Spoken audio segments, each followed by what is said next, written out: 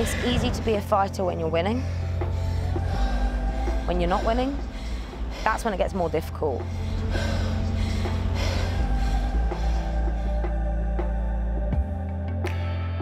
I think when I'm running, it's when I'm truly me. I can be inside my own head for a long period of time. I love the fact I can go hard and run quick, and then that being reinforced by some numbers on a stopwatch. And other people might not find that exciting, but each time I put in like more effort and more effort, these numbers are going down. That's an amazing feeling.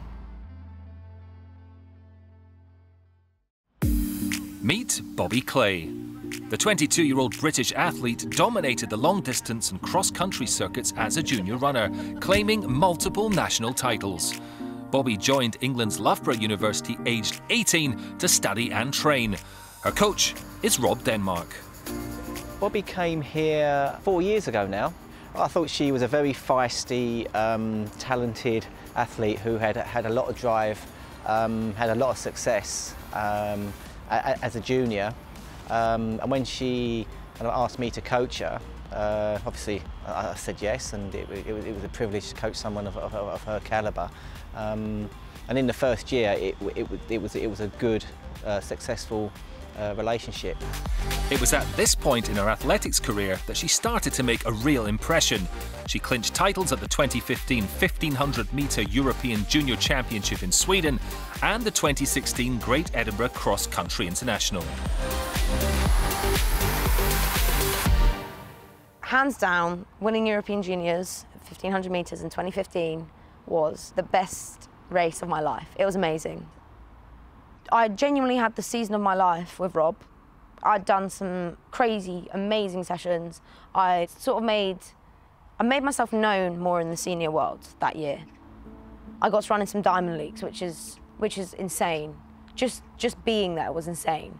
Um, and everything was going so well.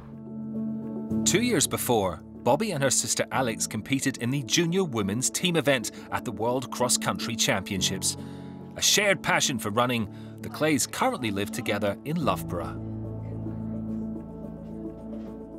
Before we came to Loughborough, we both had the same coach, but he'd never trained like girls, and especially girls pre-puberty. He'd always had a squad of boys, and training boys and men is very different to girls before they go through puberty and then when they're going through puberty. Soon after joining Loughborough, Bobby Clay's breakthrough in athletics had to come to a halt. Years of overtraining and undereating had resulted in a number of unusual bone-related injuries, so her coach Rob advised her to take a DEXA scan on her bones. The first we knew that there, there was a bit more of a, an issue was when she was just swimming at the end of the season and she just did a tumble turn in the, the swimming pool and she got a pain in her, in her foot and it was diagnosed that she actually broken her foot and that wasn't right, that, that shouldn't have happened when she kind of pressed against the, the side of the pool. I had no inclination that there was something wrong until there was the pool incident and I felt a crunch, I heard a crunch, but no one breaks their foot in the swimming pool.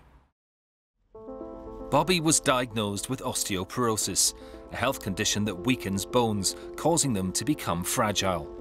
It also affected her ability to have a period, so Bobby was put on hormones. Despite the condition, she's fiercely resilient and is determined not to let it hold her back from reaching her potential. My bones aren't strong enough to allow me to run or really do weight-bearing activity. So I'm on a bike, working my heart and lungs and all that system as much as I can, ready for when they say it's good to go, we're good to go together. At the moment, she's taking some time out. I think she's kind of accepted that that's the way it has to be. Uh, she's kind of channeling that, that inner drive in, into her, her cycling, which is going really well, and she loves it. So she, and she's able to kind of hurt herself in training because she can't do that in running. I had a point where I was very much a shell. I lost a lot of confidence. I didn't really know who I was, and I, I had to learn who I was again before I even applied it to any kind of sport or any kind of training. Um, but I know the second now I can do what I want to do, there's going to be very little that scares me because it's been a scary journey so far, and I'm still here, so. Bobby is taking the first steps on her road to recovery. She hopes that path will lead to her ultimate goal of competing at the Olympics. If it was anyone else, I'd say there's probably no chance. But if anyone's going to do it, it will be Bobby because she's never once said, oh, it's not possible. I truly believe that I am meant to do this because I've got an engine and it needs, it, it needs to be put to use.